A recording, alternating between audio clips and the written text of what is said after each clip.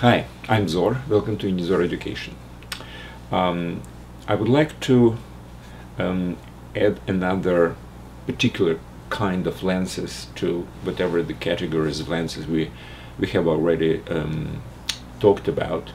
It's called um, Fresnel lenses.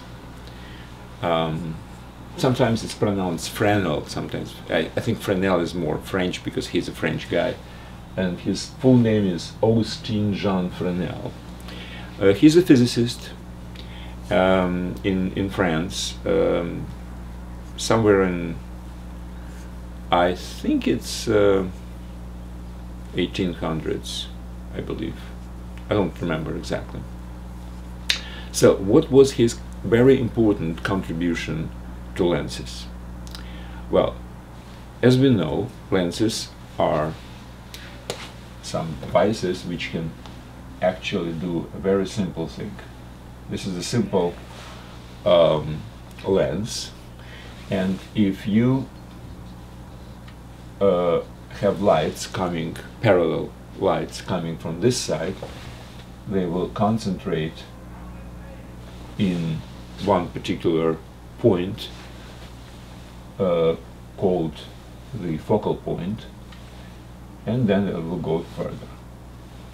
Now, why? Well, because of a very simple property of a prism. If you remember, if you go this way, it will go this way. We have already talked about this. Okay. So now, from this looks like a prism, right? This particular piece. Um, and this piece. And this piece. And this piece and this piece and this piece. So let's examine how light actually goes through the prism. When it goes here, it's perpendicular in this particular prism, right? So it doesn't really change the direction. It changed the speed because of the difference in uh, substance. This is glass, this is air. But where is it exactly bending? Well, it's bending on this boundary. So whenever it goes into this particular piece, let's call it a, a small prism, it, again, it doesn't change anything, doesn't change direction and when it crosses this particular side. But whenever it goes this way, it will bend.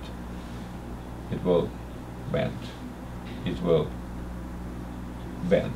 So only on the surface of the lens it actually does this change of direction.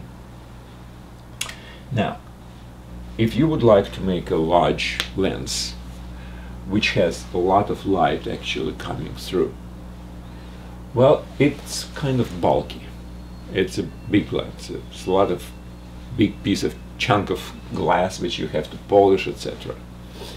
Well, incidentally, if you put the point source of light here and it will direct the rays this way. The rays will go the, the, other, the, the opposite way and it will be parallel to this.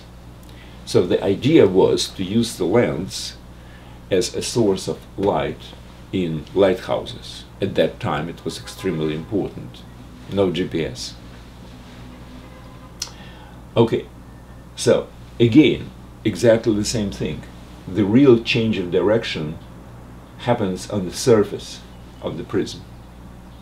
And then, after that, it goes parallel. So the only problem was to properly shape this surface so that the light goes parallel. Well, in the beginning, people were actually shaping as part of a sphere, and we were talking about this is not precise, the precise surface which does exactly this type of a from a point source to a parallel light it's a very complicated curve.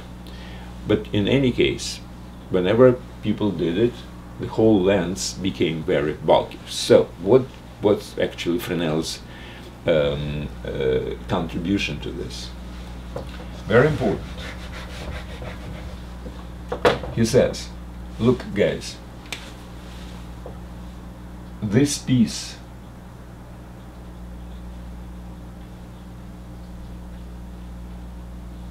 this piece of lens is not really used at all. What we need is just these prisms at the very edge of this curved surface.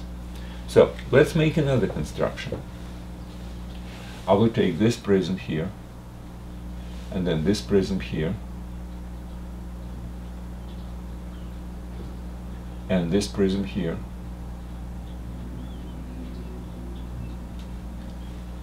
etc. So all these prisms these are this way and prisms will be this way.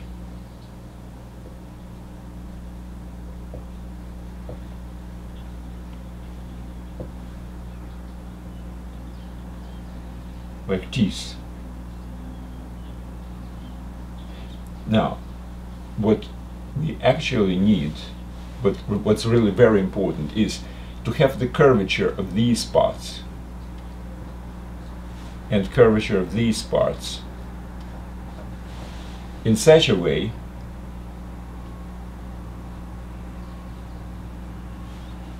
that the light coming here would go to this point light coming here will go to this point, light coming here will go at this point.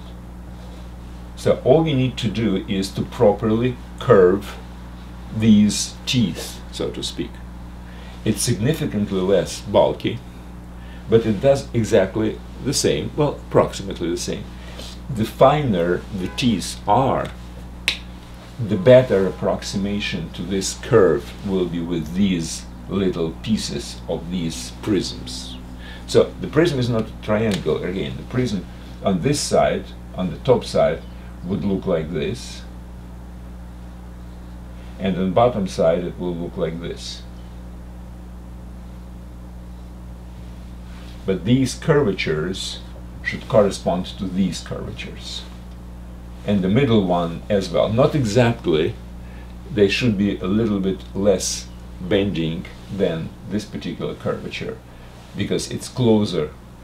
So whenever we just have this particular piece, cut it out and moved here and move here, then the focus will be here, right? So we need less curvature here. Um, so it will go this way. Same. So this one would be a little bit less curved than this one. But in any case, the curvature can be calculated or can be experimentally determined.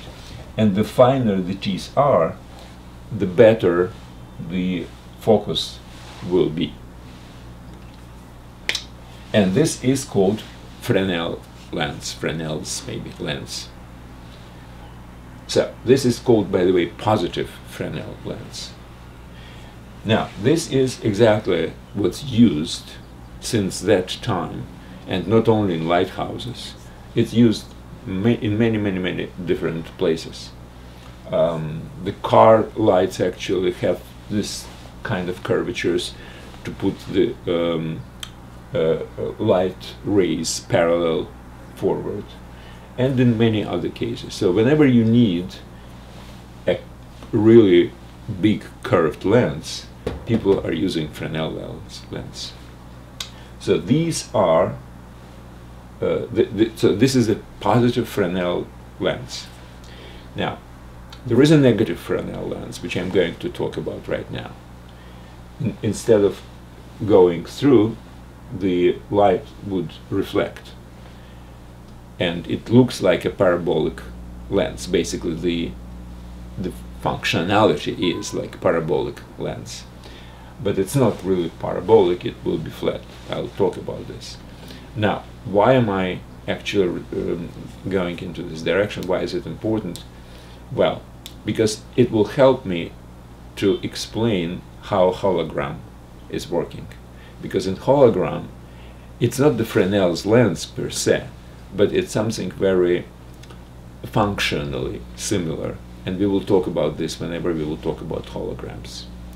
So, let's talk about reflecting. So this is refraction, when the light goes through and you need something like a glass or whatever. And the, and, and the next one, the negative one, would be a reflection of the light.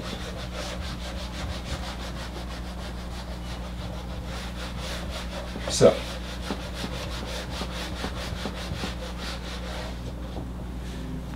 now we talked about parabolic lens. It has focus, focal point, and if you put the light here, it will direct light, uh, parallel uh, rays of light. So that's the functionality of parabolic um, lens. Well, again, I'm saying parabolic. In many cases, it's a part of the sphere. Approximately, it's parabolic. Doesn't really matter. With parabola, it's really exact, and we did some calculations. Ah, okay, now, it's again, it's big, it's bulky. How can I make it flat, basically? We will use exactly the same thing. Again, what's important? Important is this piece, which is supposed to be curved somehow. So let me just do it differently. I'll do a flat surface and I will put these mirrors, if you wish,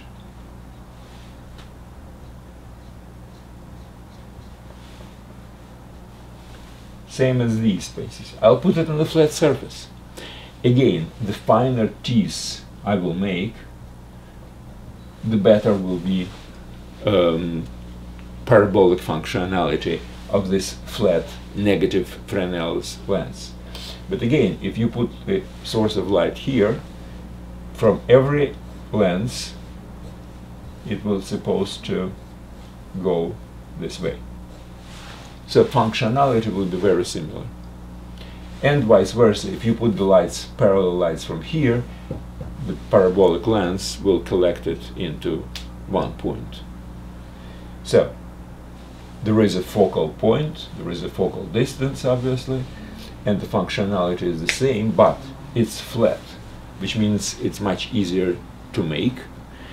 And now the, the problem is uh, these teeth should be very, very tiny. Um, uh, I actually have seen um, plastic uh, made as a uh, as a positive Fresnel lens. Teeth are really like like grooves on a, um, on a, uh, on a disc, old disc, vinyl disc. So the grooves are really tiny, right? So that's approximately the size of the teeth on the Fresnel's lens um, a positive Fresnel lens made, made of plastic. Um, now, again, this is something as a principle that you can actually put all these small mirrors, if you will, um, in a special position and as fine as far as the size is concerned as positive in such a way that it will act like a um, parabolic lens. And again, I will use it as a principle, not as a real construction, but as a principle, I will use it when I will try to explain how a hologram is actually made. This is a very important principle, a negative Fresnel's lens principle.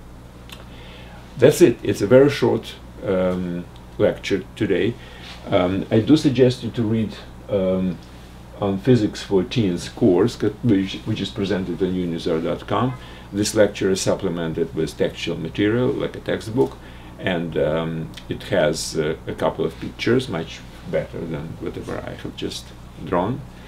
Um, and uh, the whole lecture is just part of this uh, mm, some kind of properties of light which we were talking about whenever we are talking about lenses in general this is a particular kind of lenses which is very very practically useful so um, I, I, think the glory belongs to this guy, uh, Augustin Jean Fresnel, but there were other people who contributed to creation of this thing. And what's very important is basically manufacturing. How can you make these tiny teeth properly positioned, properly angled, uh, etc. But that's a technicality which, which is not part of this course. So thank you very much and good luck.